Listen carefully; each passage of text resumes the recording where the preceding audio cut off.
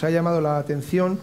a la hora del estudio del asunto, eh, pues que la propia eh, nomenclatura del mismo hace referencia eh, no solo a la construcción y equipamiento del, propio centro de congresos, sino también a incluso a gasto corriente por parte de la institución provincial. No entendemos tampoco muy bien por qué no ha publicitado, como hace con otros acuerdos de Junta de Gobierno, no ha publicitado, digamos, en los medios eh, oficiales que realiza, como en este caso es su propia página web, hay un acuerdo por el cual la Junta de Castilla y León, en su Junta de Consejeros, lo que hace es autorizar al consejero de Presidencia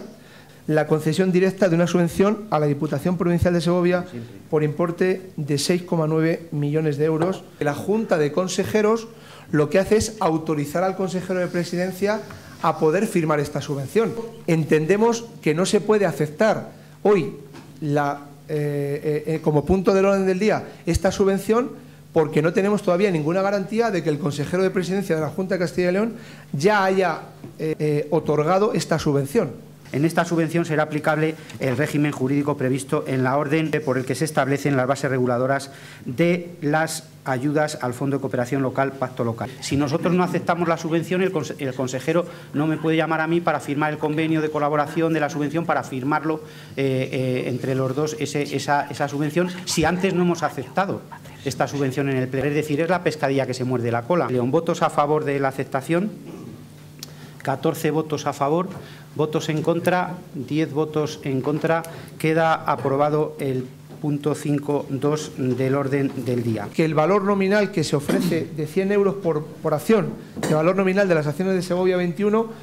pues realmente no sabemos dónde está la justificación técnica, la justificación de ese valor para poder hacer el resto de la transacción eh, de intervención para saber eh, esta situación y además un informe de una tasadora o de dos tasadoras para que nos informaran y nos dijeran realmente cuál es el valor actual en el julio del 2013 de estas acciones de Segovia 21.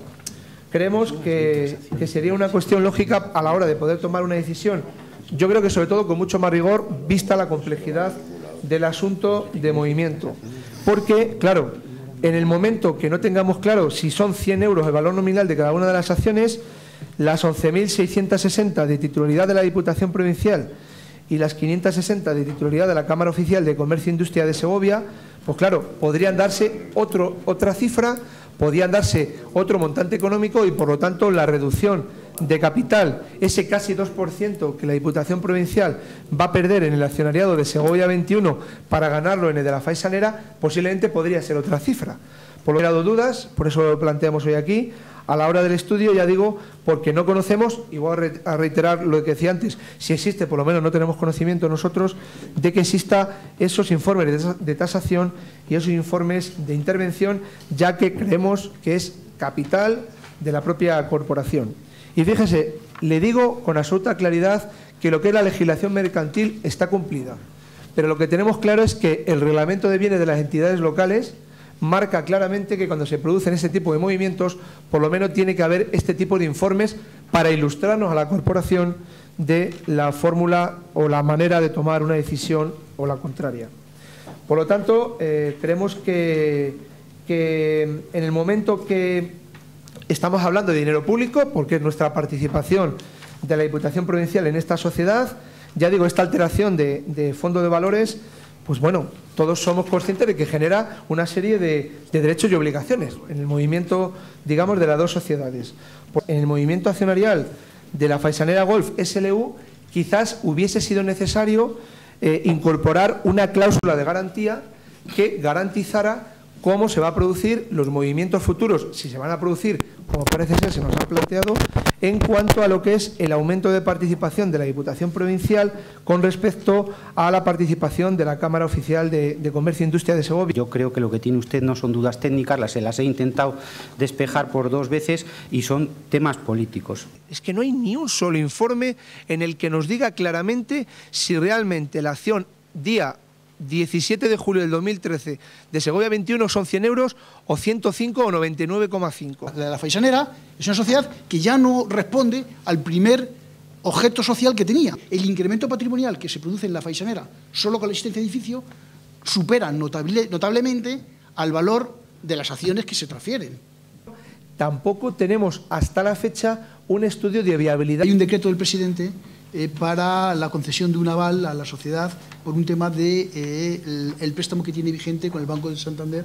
eh, para la iniciación de las obras primitivas o las, primeras que se han hecho que originariamente iban destinadas a Club Social del, centro de golf. A la espera de ese proyecto de ejecución definitivo, pediría un, un crédito de 6 millones de euros, cuyo coste, cuyo coste bueno, pues se está negociando con el Santander. Convendría que en septiembre, o aproximadamente en el último trimestre, empezara a soportar las cargas de este préstamo de Diputación. Una segunda garantía sería la propia subvención de la Junta